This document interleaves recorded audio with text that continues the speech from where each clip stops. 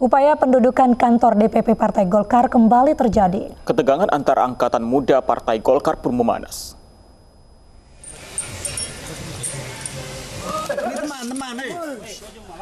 Kericuhan nyaris terjadi saat sejumlah masa AMPG berupaya menggembok gerbang belakang kantor DPP Partai Golkar Sabtu malam kemarin.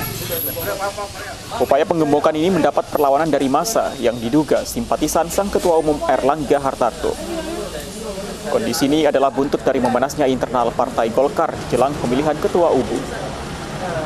Kepolisian yang telah berjaga sejak tiga hari ini pun berhasil mendinginkan suasana. Kepolisian menegaskan tugas penjagaan keamanan menjadi tanggung jawab aparat. Kader Golkar sekalian,